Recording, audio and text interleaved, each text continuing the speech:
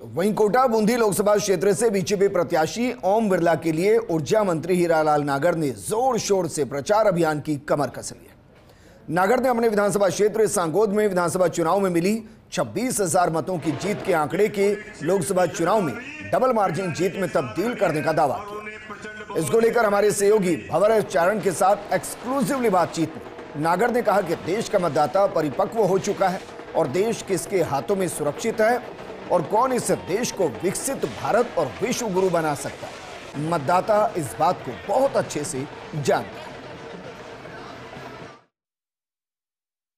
प्रदेश में भी चुनाव अभियान पूरे चरम पर है। कोटाबंदी लोकसभा क्षेत्र से ऊर्जा मंत्री हीरालाल नागर ने भी लगातार प्रचार अभियान की कमान संभाल रखी है। नागर साहब अब की बार 400 पार का नारा लेकिन बीजेपी प्रत्याशी के सामने आपकी ही पार्टी में रहे एक प्रत्याशी आ गए हैं तो क्या कोई मुकाबला खड़ा हो गया है कोटाबंदी में? देखिए लोकसभा चुनाव है और इस लोकसभा चुनाव में पूरे देश में जिस तरह का माहौल नज़र आ रहा है, हर व्यक्ति ये चाहता है कि देश में पुनः प्रधानमंत्री नरेंद्र जी मोदी प्रधानमंत्री बने।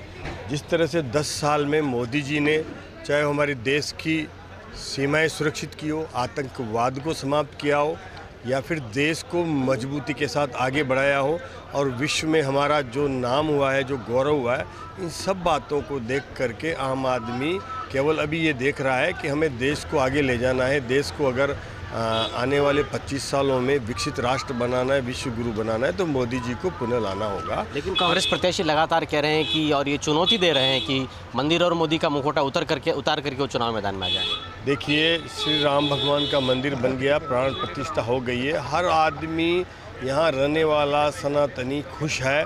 उसकी 500 पुराना सपना पूरा हुआ है।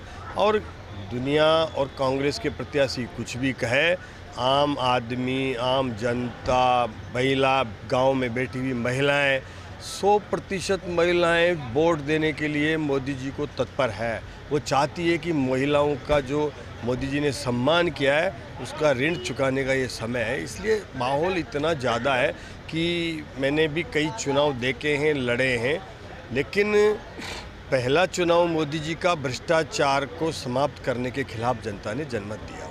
सांगोद विधानसभा क्षेत्र कोटा से सर्वाधिक मतों से इस बार दुगने स्तर तक जाएगी और जिस तरह से मोदी जी के प्रति लोगों का रुझान है आम लोग कहते हैं कि चलो वो विधानसभा का चुनाव था पर इस बार तो जिन्होंने विधानसभा में वोट नहीं दिए वो भी मतदाता ये कह रहा है कि देखो वो बात अलग थी अब तो ये देश का चुनाव है इस बार तो मोदी जी को वोट देना है। मेरा आखिरी सवाल, सर। लोग कह रहे हैं कि जीत हार किसी की भी हो, लेकिन कंटेस्ट हो गया है, नज़दीकी अंतर रहेगा हार जीत का।